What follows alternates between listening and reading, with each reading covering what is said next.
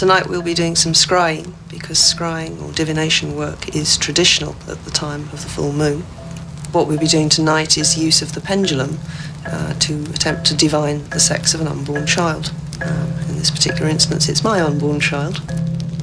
The high priestess of this witch's coven is 16 weeks pregnant. To discover the sex of her unborn baby, Kate West is not relying on modern antenatal techniques. Her coven uses ancient ritual and magic. It'll be a girl. Definitely a boy. It's a girl.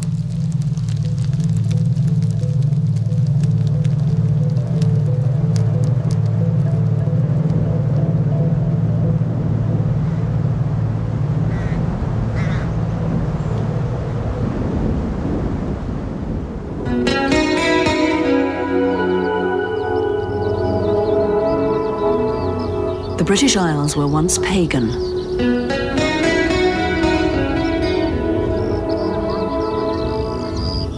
Long before the first Christians walked this green and pleasant land, the religions of old Albion spoke of power and magic, gods and goddesses. Modern paganism is claimed to be the fastest growing religion in Britain. More and more people are reaching back to those pagan times and taking hold of religions which for them are not curious relics, but living faiths which are just as vital today as they ever were. Paganism today is a label for a group of religions which are inspired by images and ideas from the old religions, the pre-Christian religions of Europe. They're the religions rooted to the land, farthest back in our traditions. Modern paganism is also divided into several traditions, of which the most important are pagan witchcraft, particularly the high ritual witchcraft known as Wicca, Druidry, shamanism, and the northern traditions, that's those who turn to Viking or Anglo-Saxon deities. The idea of modern pagan witchcraft is to try and blend religion and magic, and to re-enchant places, people, objects, to make the world more sacred, to make people more powerful.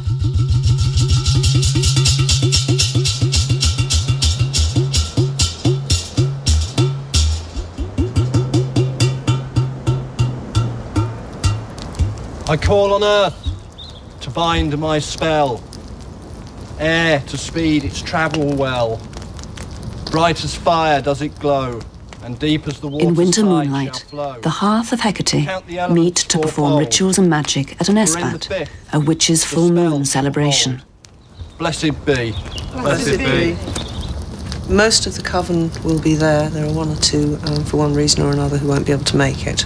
The way the roles are divided out is that Steve and myself are the high priest, high priestess, and we will have people calling the quarters that's earth, air, fire, and water. I do summon and invoke thee, O element of air, to watch over, guard, and protect us during these our rites.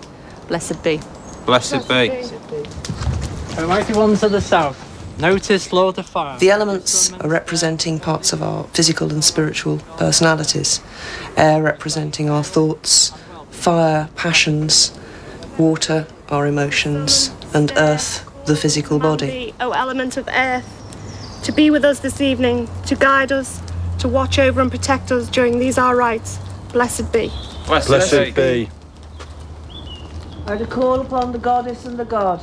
Kate and Steve's spiritual partnership carries over into their life together. As well as looking forward to the birth of their first child, they are soon to be joined in a pagan marriage, a hand fasting. Blessed be. Blessed be. Both events will be marked by the coven. I cast this sacred circle as a place of protection. A world between worlds. A place with no time. The circle separates us from this time and this space and gives us a space between the worlds in which we work. And this is, in effect, our church. Blessed be. Blessed be. Darksome night and shining moon. East, then south, then west, then north. Hearken to the witch's rune. We tend to work robed because use of a black robe in the forest means it's very easy to disappear when come upon by strangers. And so this is where the legends come from of witches turning themselves invisible in the woods. Swords and censer, scourge and knife, power of the witch's blade. Waken all ye unto life, come ye as the charm is made. As we do will, so won't it be. Chant the spell and be it done! Isis Astarte Diana, Hecate Demeter Kali Inanna. Isis Astarte Diana, Hecate Demeter Kali Inanna. The next step in the ritual is raising power. And it's by a combination of circle dancing, which is moving deosil or clockwise around the circle. And there will be chanting. Chanting and dancing raises energy, which we will need later on in the ritual to conduct our workings.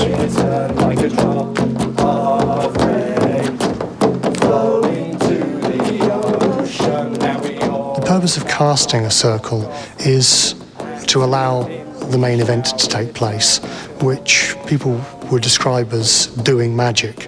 Certainly doesn't mean the Paul Daniels conjuring tricks, rabbit from hats kind of magic.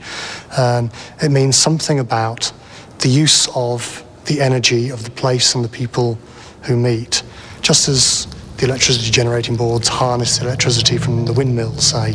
So the purpose of the energy raised within the circle of people is to help other people.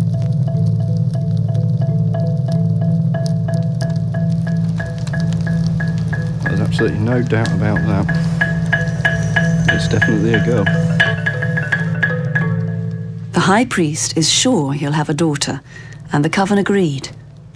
They concluded by a count of seven to two that their high priestess's child, to be born in five months' time, will be a girl.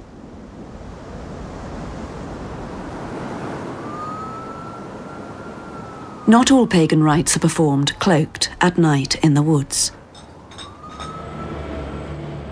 Along with other pagans, shaman, our human envoys to the spirit world, can be found in the most urban of neighborhoods.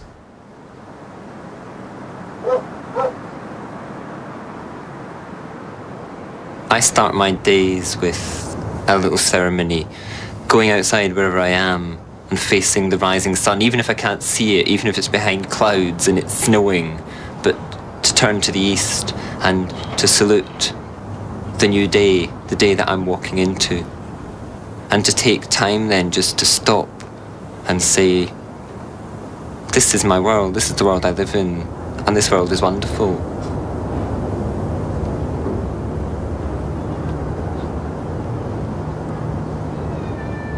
The shaman works as a bridge between human worlds and other worlds, the spirit worlds.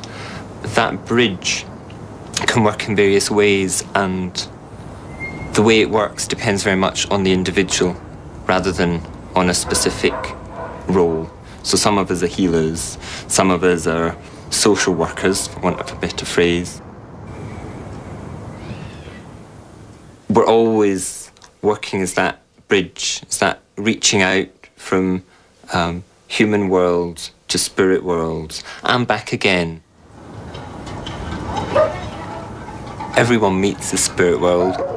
I think most people will have walked into a house and felt it as a, as a friendly space or an unfriendly space. And for us, that's a spiritual process because that's a recognition of, of spirit, of an awareness that says home's important and home grows and changes as something greater than just me, that I contribute to it, but there's factors there that are independent of what I do.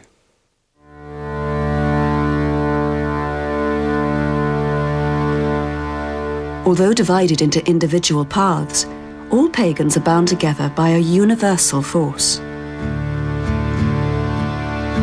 Many religions claim a respect of nature, but in paganism, our planet's patterns and rhythms are the very bedrock of belief. This wheel of the year spins through the life of the land, the living, the dead, and the divine. One aspect of modern paganism's very close relationship with nature is a common system of eight festivals which are bonded to the turning wheel of the year. which mark not just the way in which the countryside, the natural world, the daylight, the climate change, but the way in which human beings change with them. The way that most, but not all, pagans celebrate the year begins with the festival called Samhain, um, named, known as Halloween by other people, um, on November the 1st and its eve, uh, a celebration of the ancestors and the recently dead. The year moves on to uh, midwinter, to the winter solstice, longest night, shortest day, a time of, of cold and darkness. The wheel turns and we come to the beginning of spring, known as Imbolc. Although it's still cold and, and dark, um, there's more light and the spring is coming. The wheel turns and we come to the end of spring, the beginning of summer, or May Day, um, often known as Beltane. Um, people want to come out and celebrate. Meet your lover, go off into the woods and celebrate vitality. The commitment that you make to one another in that event at Beltane, in May Day, is even more strongly expressed at the height of summer, with summer solstice, celebration of life and of summer.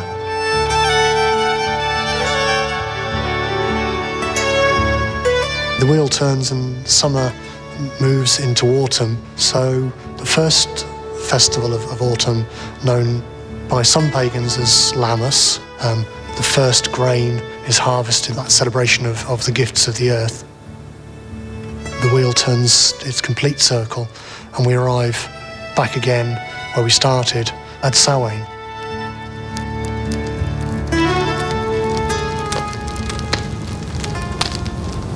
Be it boy or girl. Sometime after Lammas, we should know for sure. The pregnancy itself has fallen in very nicely with the wheel of the year. We didn't find out until um, just before Christmas. That meant that at Yule, when we were talking about the spark of life, the spark of light returning to the land, then there was a spark of life um, already growing. At Imbolc, it was quite really quite amusing because we're there talking about Imbolc has a literal meaning, which means in the belly um, and therefore caused quite a number of wry smiles all the way around the circle, because there was one indeed. And uh, we have our hand fasting coming up at Beltane, which is the celebration of the marriage of the goddess and the god.